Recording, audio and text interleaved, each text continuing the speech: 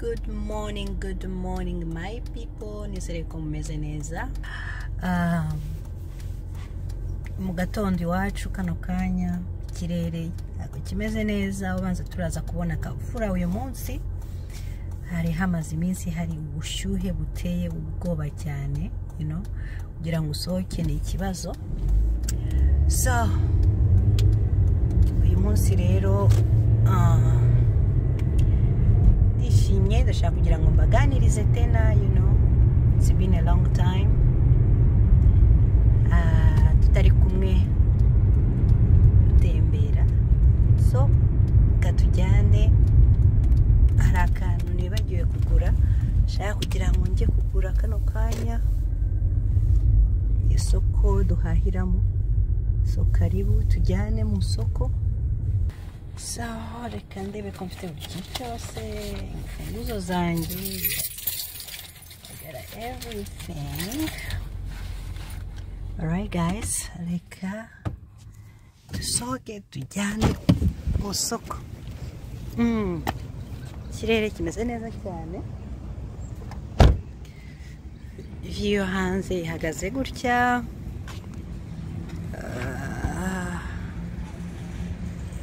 okay. nanjye ndi hano murimo murambona hari imiditi ikirere ntabwo kimeze neza. Reka tujyane mu isoko rero. Turebe icyo duhaha. Turi kumwe. Ah, iri soko ryitwa food lion. Ni isoko nkunda cyane. Riba ririmo ibintu biri fureshi bya dare so nshaka kugenda nzane ikintu nibagiwe sinzi niba nawe bikubaho akenshi hari igihe wihina mu soko ukibagirwa buri kintu cyose. Ariko let me see what I can get here.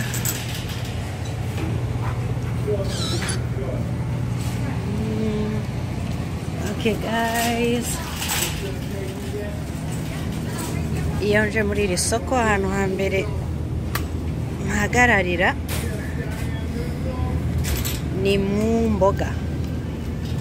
Mu mboga muri iyi minsi mparaye iki kintu. Mbereke ibintu mparaye ndi kurya muri iyi minsi. Dufite ibigori hano bimeze neza bya tari ariko ntabwo bimeze nka bya bindi by'iwacu. imineke bimeze neza so uyu munsi ndashaka gufata. Karoti karoti ziri he ya so ndashaka gufata karoti.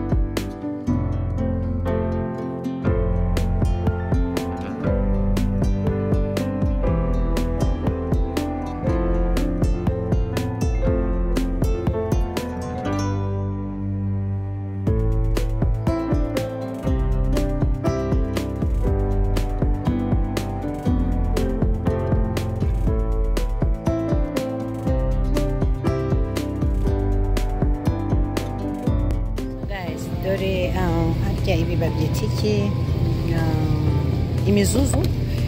Imizuzu iri ahangaha iteye ubwoba. Ntabwo nayirya kuko tuba dufite ibijumba naho tuba dufite ibintu byinshi bitandukanye. Ah, abantu benshi mujya mwibaza muti ese tujya tubona ibiryo byo muri afurika dufite ibirayi you know. Ibintu byinshi bitandukanye. Imineke urusenda imyumbati guys urabizi yuko njya ndya imyumbati cyane so reka reka dukomeze bari mu gitondo isoko ntabwo riri bizi cyane.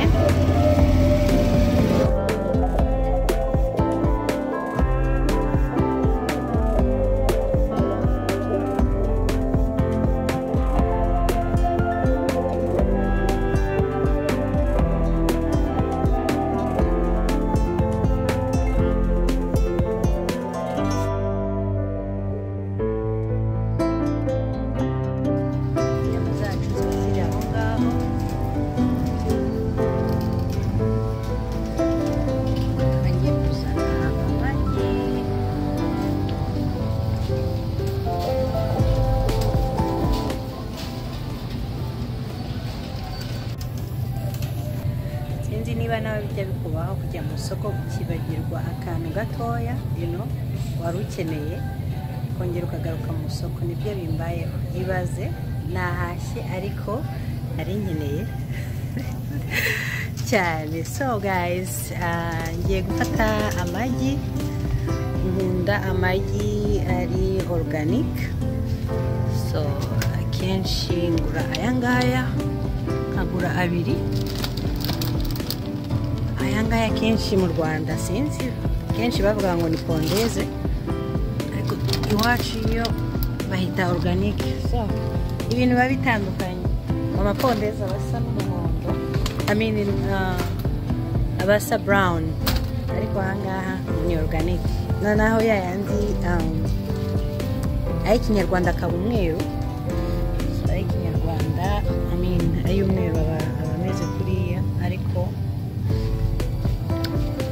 twebwe ni uko. So barangije rero gufata buri kintu cyose nari nkeneye ya nari nkeneye gusa amagi ndumva nari nibagiwe ah, karoti. So rero nkaba mbizanye nkaba ndi kumwe na byo. Ubu ngubu nkaba ngiye kwishyura.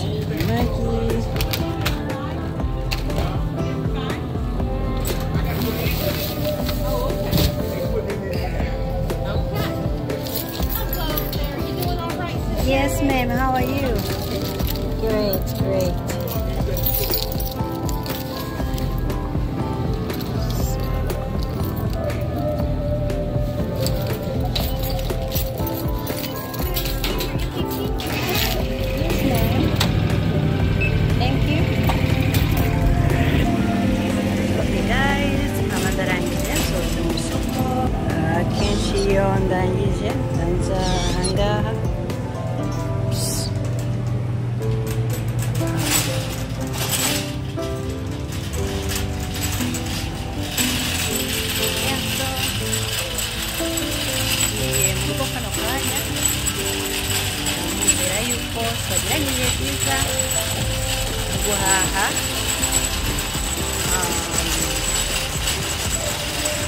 ya so niyo video y'uyu munsi nari mbafitiye ngufiya cyane turi kumwe rero aho utaha bye bye